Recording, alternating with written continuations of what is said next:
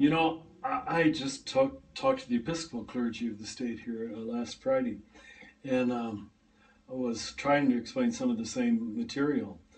And my what I told them, I can't prove this. I just have a strong intuition that the word contemplation emerged already in the desert period, you know, because the word prayer had become so trivialized and cheapened by misuse. Mm-hmm. And we needed another word. That prayer had already become, among many, this functional, pragmatic, telling God things, asking God for things, more and more limited to intercessory prayer, as we'd call it. But not this change of consciousness, not this this different pair of eyes. You, know, you could pray within your dualistic mind. You could pray within your normal unconverted self.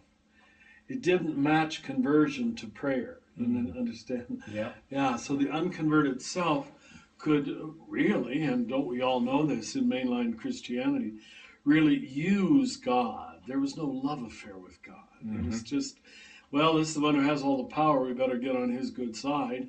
And when we want things, we, we know who to go to. It was all the big daddy in the sky stuff. So contemplation became that word, admittedly used in different ways by different people, but a subset uh, more preferred in monastic settings and uh, poetic, maybe poetically minded Christians who were are, are more mystically minded Christians who who needed a word to say, I'm not just talking about saying prayers or recited prayers or formulaic prayers. you know. So you probably heard me say, I, I'm convinced it is a different mind. It's and and I, uh, the main way I can try to teach it is to put it in contradistinction to the antagonistic, problematic, calculating uh, uh, mind which we largely operate of out of. More, the more so we're educated, even more so. Mhm.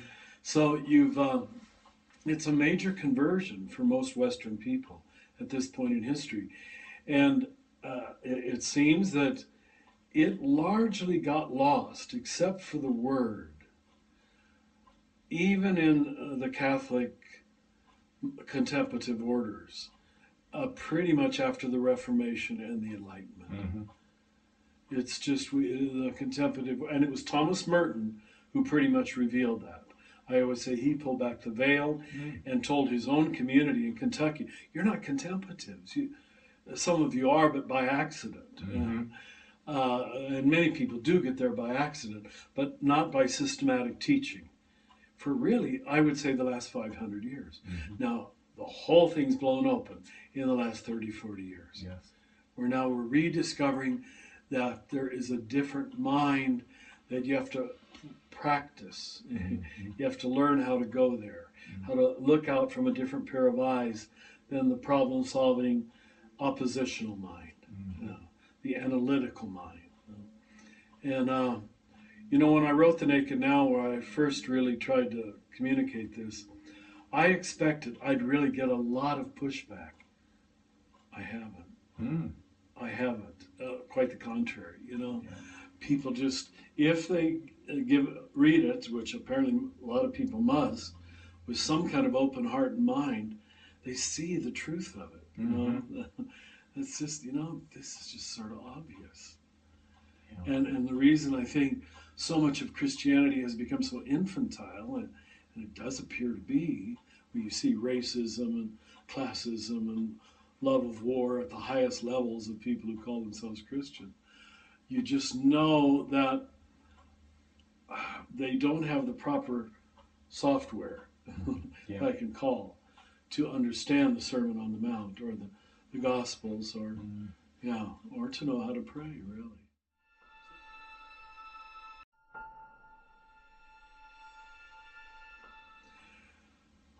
The normal way the, the mind works, it, it, it knows things by comparison to something else. Yeah.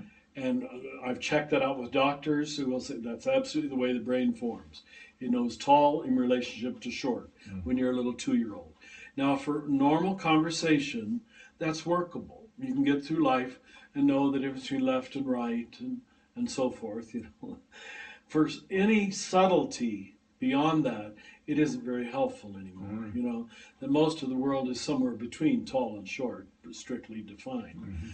Uh, so here, here's the way I describe it that what the mind does is divide the field of any moment or any event or any situation that first approaches you. Mhm. So, like, I just met you.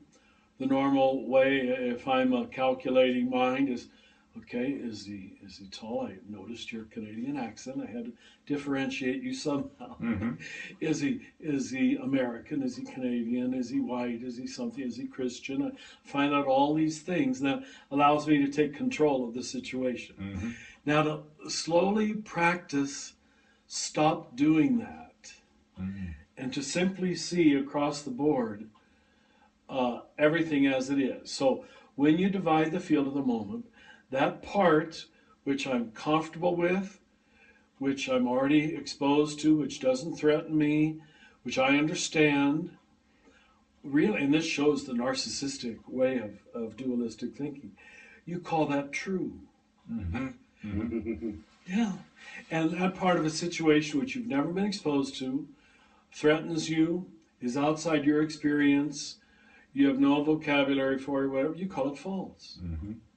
Now, to stop doing that, to stop dividing the field of every person, event, idea, or new situation that comes toward you, that's what you're practicing in early stage contemplation. That you know, you notice your, your mental patterns. As one of the priests said last week, Richard, isn't that just mindfulness? I said, probably early stage contemplation probably is. It's Mhm. just, it doesn't, it, it's not yet union with God, not even close. Mhm. But if you do want to talk about union with God, I'll tell you that mind has a much better chance of getting there because this Richard self is out of the way Mhm. with its pretentiousness, with its full of itselfness, with its uh, certainty about this idea or that idea. So when you can see everything equally, the way I usually say it is image of God, image of God, image of God, image of God, image of God, Mhm.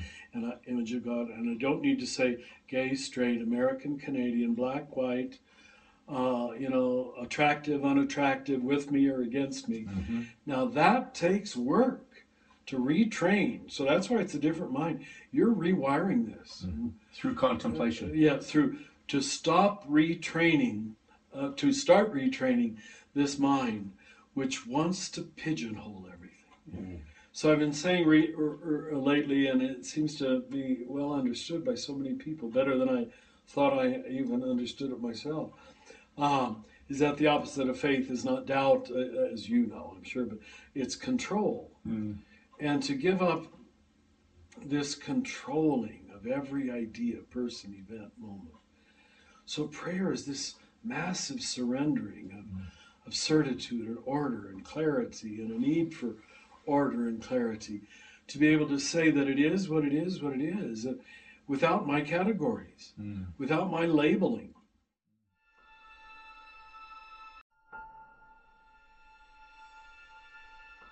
I've been uh, suggesting to some groups that maybe labeling is actually a better word to use when Jesus and the Buddha, too, both say, do not judge.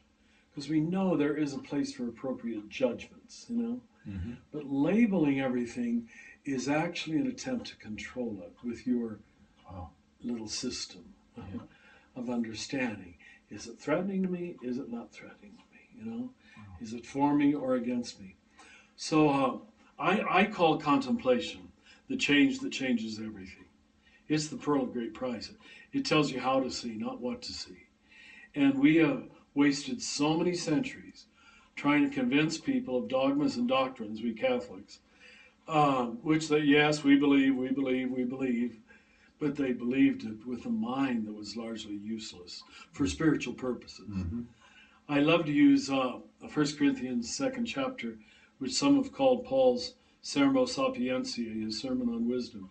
Uh, and if you remember, in a, a rather extended, somewhat convoluted logic, as Paul's often is, he says we must understand spiritual things in a spiritual way. Mhm. You know, and and when Jesus says, "Oh, it sounds like is God planting in us misunderstanding?" You will see but not understand. Talking about the parables, you know, Mhm. you will know but you will not know. I think that's what he's talking about. This this first level of knowledge that is largely dualistic, problem centered, self referential. Uh, it cannot know things, certainly at a love level. You can't love things Mhm. with the dualistic mind. You really can't. Mhm. And anybody you love, I'm assuming you're both married, uh, somehow you achieved the ability to see your wife's faults here and there and be able to overlook them. You understand that? Yeah. Yeah. Okay. You're dualist. I said, well, I do wish I could change that little thing in her. And I'm sure she thinks the same thing about you. of course. Mhm. But for certain people, isn't it wonderful? Like your children, I hope too. God gives you this wonderful grace to over overstep that. Mhm. I know it, but damn it, it doesn't matter. Yeah. It just doesn't matter. That's non-dual. So here in Naked Now, I say that n- normally getting through the day, the dualistic mind is enough, Mhm. but you will hit a ceiling. Now, in that book, I said there's five things above the ceiling that you cannot adequately process with your dualistic mind love, death, suffering, any notion of eternity or infinity, and any honest notion of God.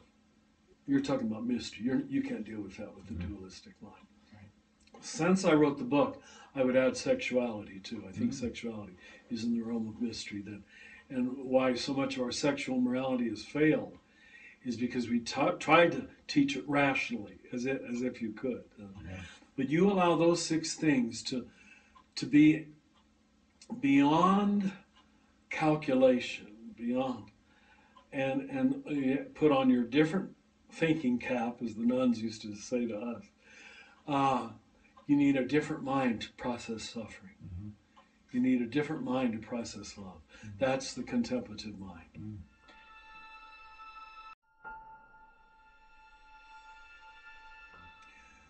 The best thing is to invite them to observe their stream of consciousness with some degree of honesty and to notice the patterns. This doesn't sound spiritual at all. I'm sorry, but it really is. Mhm. It's an exercise in huge kenosis, letting go. Because you're going to see that not just a few people are OCD. The universal addiction is that all people are addicted to their way of thinking. Mhm. We all are. I am, you are, you are. Why wouldn't you be? You process things in a certain way. You have to suffer that humiliation by seeing how silly it is. That this dog of my mind is going back to the same vomit, to quote Proverbs. The, the, every 30 seconds, I'm tending to resentment, whatever it might be. I'm tending to judgmentalism. I'm tell, tending to dismissal. Whatever your pattern is, paranoia, anger, superiority complex. Uh, oh my God, this is humiliating. Now, I think that's why contemplation so easily has died out again and again. Because when the Spirit, uh, you know, Mark 1 13, 13 to 50, when the Spirit drives Jesus into the wilderness, you have to be driven there almost. And the first thing that comes up are the wild beasts, if you remember the text. Huh? Yeah. The wild beasts, just all your crap. I hate to say it. All Saint your Anthony as well. Right? Very good. All- All your silly, stupid patterns Mm. Of repetitive. You know, it was um, uh, Eckhart Tolle, who lives in Vancouver, that I, I wrote to after he wrote his book, The Power of Now, and I thanked him. I said, You know, you really opened up the older contemplative tradition, but you did it in a most wise way without using Christian vocabulary Mm. so people could write you off. Mhm. But we call it the practice of the present moment or the uh, sacrament of the presence of God in, in Catholic vocabulary. Uh, and I said, You said it without saying it. Thank you. And in that first book, if you ever read it, at that point he says 82% of human thought is repetitive and useless. And somewhat jokingly, I wrote to him, he lives in a rather simple apartment close to the airport at, at that time in Vancouver. And um, he wrote me back a sweet note because I said I only disagree with you on one point. I think it's 92%. And I was saying it somewhat facetiously. But if you look at his latest book, he says 98%. Wow. 98% of human thought is repetitive and useless. Mm. So, you know, Whole cities running on that stream of thought. Yes, yeah. Mm. You know, it's so humiliating to see this that we think think the same thought over and over and over again. So when Descartes, who we've been making the whipping boy for hundreds of years, rightly so, I think therefore I am, he actually was half right. The Western person thinks they are their thinking.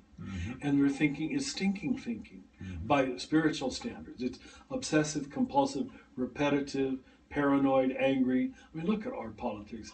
Uh, yours appears to be a little better than ours. Uh, but you you just want to cry at the level of American political discourse. So we can have all these people we've sent to universities, educated in intellects, but have not gone above the ceiling to wisdom.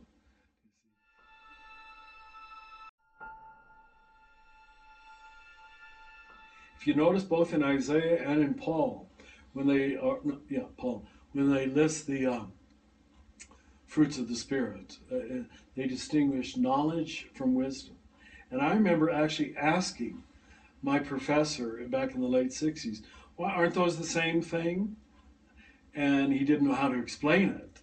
But he- no, they're different, he said, knowledge and wisdom. Well, I think knowledge, and it's good to have good dualistic, clear headed thinking. I always have to say that, or people accuse me of being dualistic, Mhm. of course. I have to say there's a place for dualistic thinking, uh, but you hit the ceiling. And above the ceiling is wisdom, which is always a gift to the Spirit. Because the logical, rational mind doesn't go there. It's normally great love and great suffering. That's why you can go there for your wife and your children. You can go there, you know, if you've suffered great grief or great tragedy in your life, you'll find yourself temporarily, without even knowing it, in the space of, of contemplative thinking. You'll see things in a non dualistic way for a few weeks or months in the presence of great love and great suffering. And let me end with this.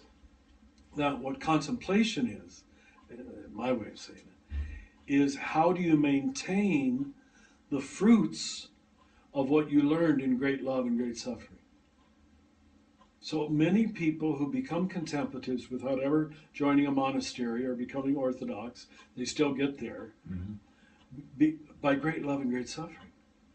But it's still very hard to maintain it across the board unless you develop a practice that rewires this somewhat permanently. Mhm. Now, in moments of hunger and anger and loneliness and tiredness, we all revert back to the lower levels, of course.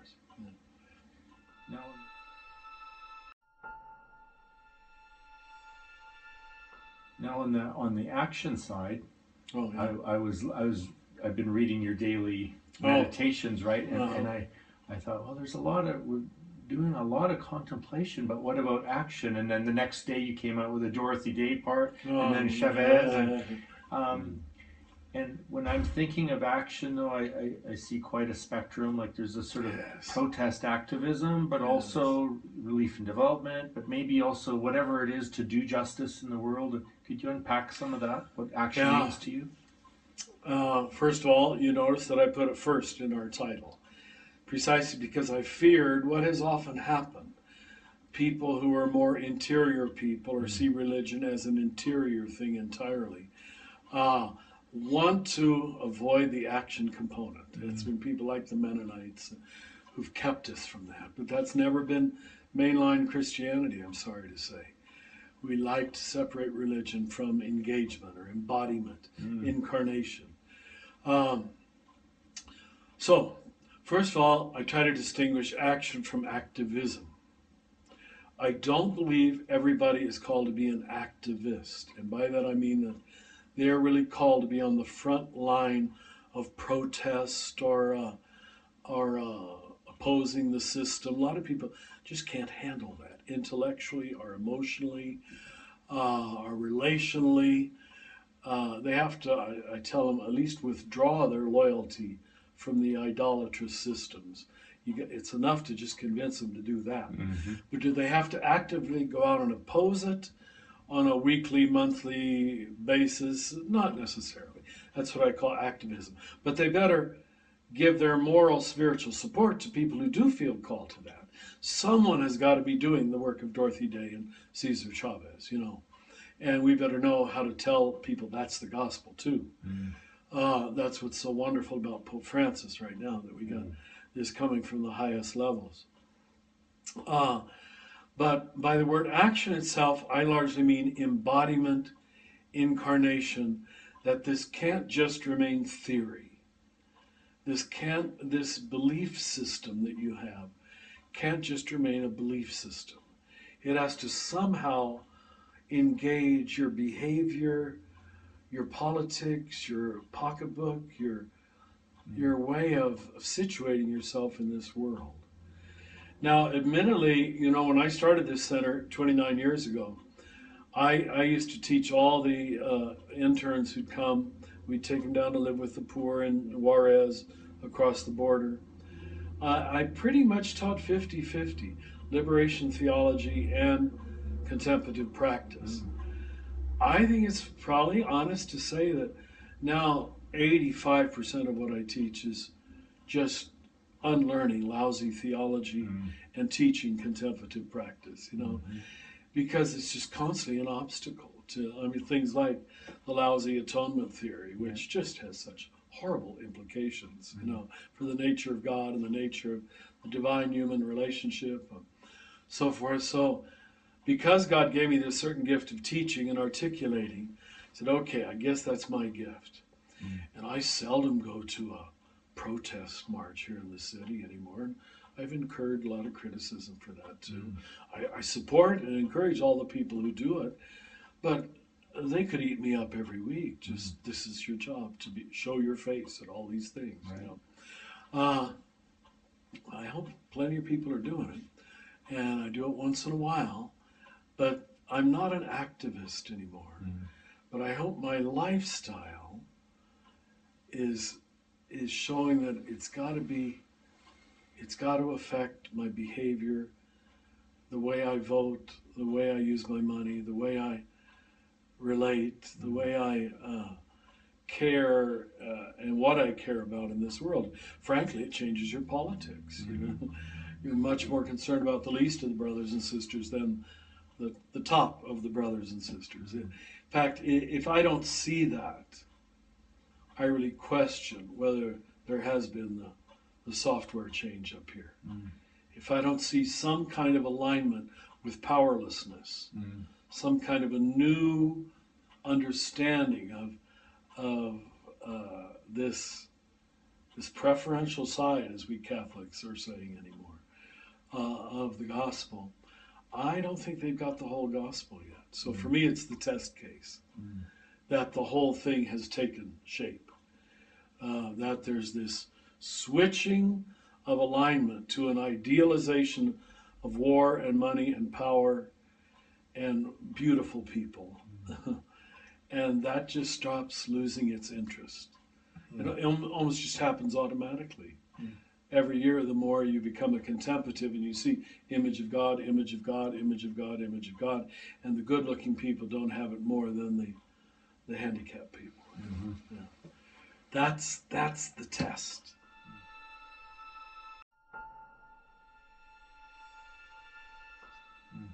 So, is there a politics of Jesus in all this? Remember Yoder's book, and Yeah, um, what Well- would your angle on it be, though? You know, I put it this way. I tried to just hint at it. That I think it first of all has to do with the withdrawing of enthralldom and loyalties. That that it, the, this whole game of good looks, big cars, success, power, money, war, important people, it loses its enchantment for you. It that's how your politics changes. That that um, you withdraw your loyalty from the military-industrial complex. Now, does that mean you've got to protest every war? Uh, at least by withholding your your support of it, yes. Yeah, I think that much the gospel requires of you that you can't be uh, enthralled by all these systems of power and money and, and illusion. Uh, and as you know, it's hard enough to just get people there. Yeah. the withdrawing. And I would say it, it takes for many people a good five to ten years Mhm. to unravel the implications of what they now experience as the shape of reality and to see that their politics changes. And of course, their politics changes to such a degree that, at least in our country, uh, neither the Republicans nor the Democrats are very attractive. Do you understand? Yeah. It's not like you can go back into a dualistic split and say, oh, now I'm a Democrat and not a Republican. But Right. Conventional politics is all about labels and us and them. yeah, and, it's just the whole thing is pretense. Yeah. Mm. So uh, you do have to suffer this massive disillusionment. Mm-hmm. And you'll find during that period, I've seen it in so many, that especially if they came from a middle class or upper middle class family or a military family, they're just sort of quiet for almost five years. Mm. They- They're afraid to say what they're beginning to intuit because they can't say it at the family gatherings. They- they're not even sure it's safe to say it around people here. They they test the waters. Do you understand? Because it feels so dangerous. Have I really withdrawn my loyalty to the banking system? Even yeah. Well, Well, these these things that are considered too big to fail, the penal system, Yeah. all of them, they're just a bunch of pretense, you know. Yeah, And as that all falls apart, which you took as the upstanding institutions of American civilization, uh, you feel pretty, uh, you know, no place to lay your head, Mhm. no place to lay your head for a while, and especially when mainline Christianity, Roman Catholicism, was pretty much in bed with all those institutions for centuries. Yeah. Yeah, you're not sure you're Roman Catholic anymore, Mm. uh, which in that sense they're not. you know.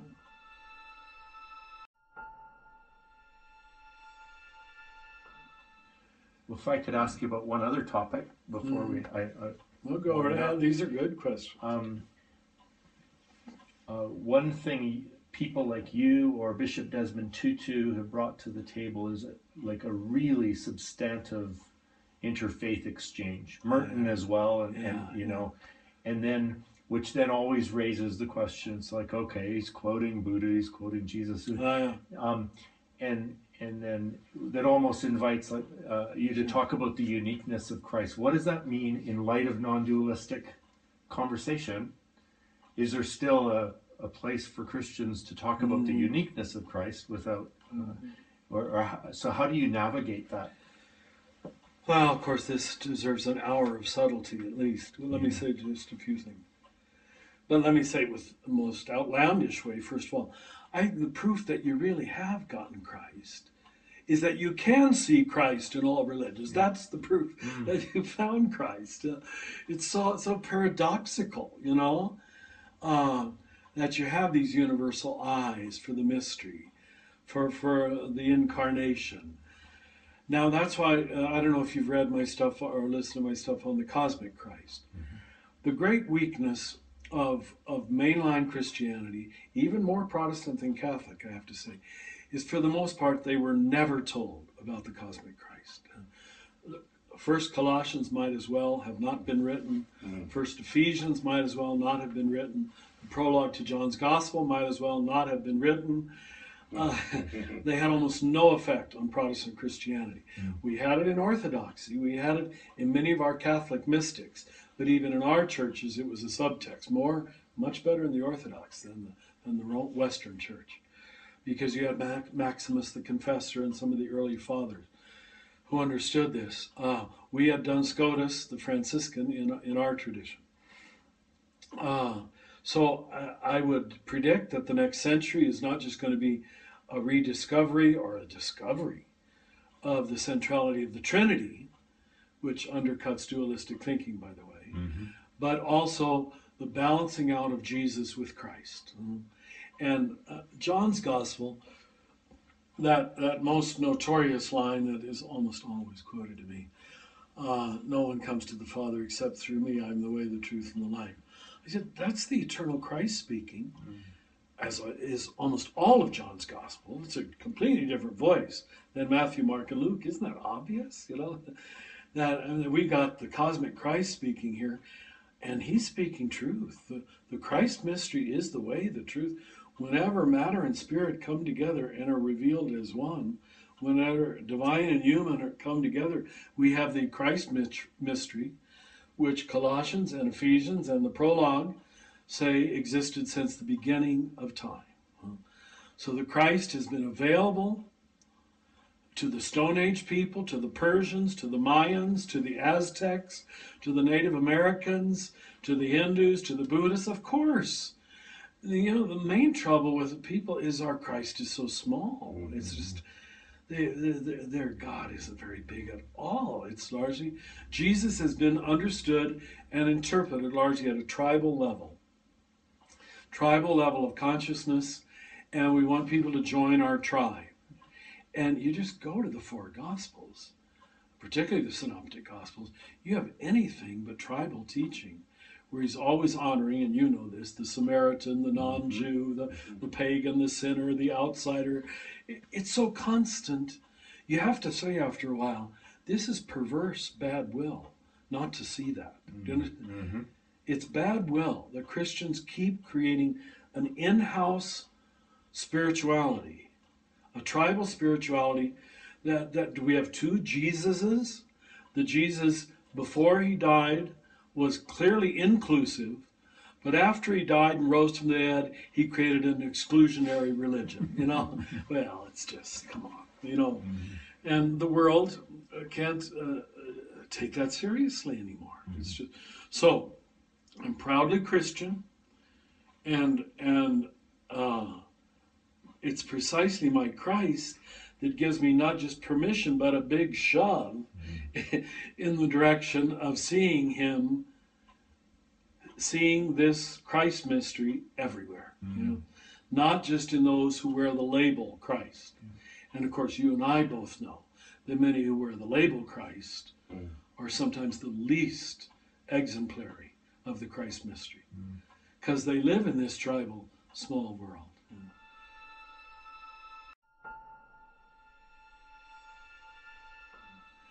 So th- this will be the rediscovery of Christ. If I, I don't know what this health issue is going to mean, but if I if I do get to write one more book, I'd really like to make this really clear and biblical and mm-hmm. obvious because it's so easy to make it obvious. It, yeah. doesn't really take a lot of effort, mm-hmm. and it, it, disappoints me that the, the evangelicals, for example, who who say they love Scripture so much didn't see this 1st mm-hmm. that we're talking about something bigger here than Jesus of Nazareth. Huh? Yeah. Jesus became the Christ. Mm-hmm. Jesus was proclaimed the Christ. Jesus revealed the Christ, but the Christ existed from all eternity. Mm-hmm. That's good stuff. So Christ alone, but not Christians alone. Is that what you're? Oh well, there's a first good corollary. Yeah, I would still but I wouldn't say that to a non Christian. Mm-hmm. You know, when Jesus says, I talk this way when I'm talking to you, mm-hmm. but I talk another way when I'm talking to the crowds. Mm-hmm. There's in house language. Most of John's gospel is in house language, yeah. you know, talking to the believers. Mm-hmm. And I would, when I'm preaching here at this parish church on the corner, I'm talking to Catholics. I know what I can get away with and what I can't get away with. Huh? But then when I talk to educated or secular or Jewish people, I talked to some lawyers in Santa Fe on Tuesday, mm. many of whom were non Christian. I had to completely change my vocabulary, but boy, were they with me mm. in this very direction, hmm. too. Yeah, wow. yeah, that's what's so exciting. Now, when you can, as Paul says, try to be all things to all people and not just, you know, the way I interpret what the evangelicals call the Great Commission, which is a fine phrase, but it isn't really in the scriptures uh, but to preach the gospel to all nations. What he's really telling us is talk to outsiders. You know, talk to other people than yourself. Mm. That's the import of that passage. Because when all you do is talk to yourself, Sunday after Sunday after Sunday, you really think that your in-house vocabulary, redemption, salvation, immaculate conception, if you're Catholic, that everybody understands that or is supposed to agree with that, and and pretty soon it makes you a, a foreign entity. You're not preaching the gospel to all the nations. So uh, we've got all the tools to do it in the scriptures. You know, I, I know some people think that uh, maybe I'm not scriptural, but that's actually my field. That's that's what I love. You know, to show that we had it all the time, but you can only see what you're told to pay attention to. Yeah. And we weren't told to pay attention to a whole bunch of things. Right? Every one of our churches, ours especially, we paid attention to very limited scriptures. Mm-hmm. You know.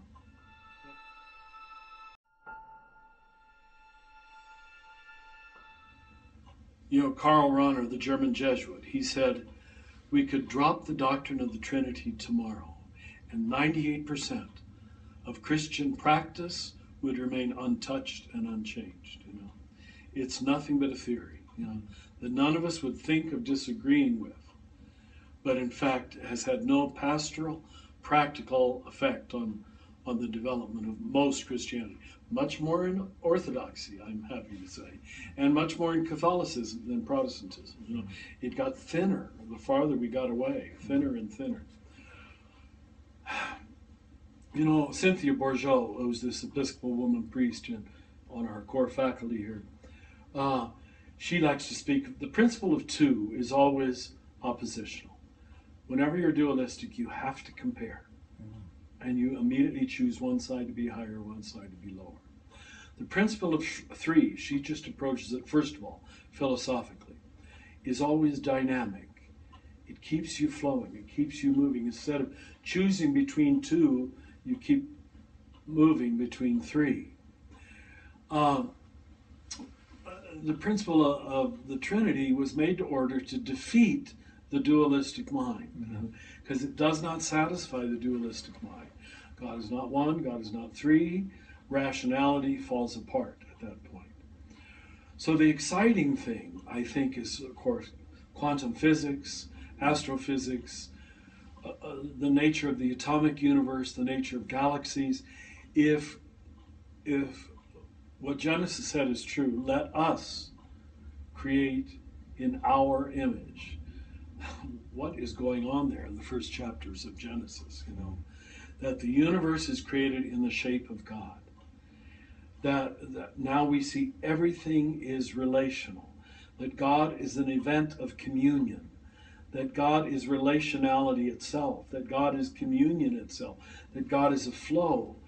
So you just got to let that undo the image of, uh, apparently, you see my daily meditations once in a while, the old man with a white beard sitting on a throne. That's, that's gone. Mm-hmm. But the trouble is, it hasn't been gone. It's it remained in Christian art, you know, perhaps still, uh, most wouldn't, you know, an old man with a white beard sitting on a throne. That's not Trinitarian theology, even if he is holding the crucified Jesus and the dove is above him. You know, we tried to put it in art, but because we, we just didn't know how to picture flow, communion, relationship. Uh, St. Bonaventure, our Franciscan mystic, he called uh, the Trinity the fountain fullness of love, like a water wheel, always outpouring one to the other in one direction. And so, any notion, if you read Bonaventure's writings, there's nothing like you'll see centuries later of hellfire, brimstone, judgment, merit, damnation, atonement, punishment, wrath, and God. It just saddens me. I actually listen to Christian music a lot when I'm driving because a lot of the words are so beautiful uh, for when I'm suffering anyway. But the one, part that isn't beautiful is how much the the older ones, not the more recent ones, you love to use the word wrath. Mm. My God, it's in every other song. Wrath. wrath. When you have a Trinitarian theology, there's no wrath in God. Mm. There's no room for wrath. It's it's a theological impossibility. You understand? It doesn't work. Yeah, it doesn't work. It doesn't make sense. Yeah, and and we see that so much of our image of God was taken from from the early tribal primitive understanding of the old man with the beard, as it were, sitting on a throne, never really undone by the re- revelation of Jesus as the, the Son of the Father, revealing the heart of the Father, and then giving us that presence in the indwelling Holy Spirit. That changes everything about the nature of God. So, um, yeah, I, I, uh, I really hope we keep unpackaging the Trinity because it will change Christianity mm. radically, radically.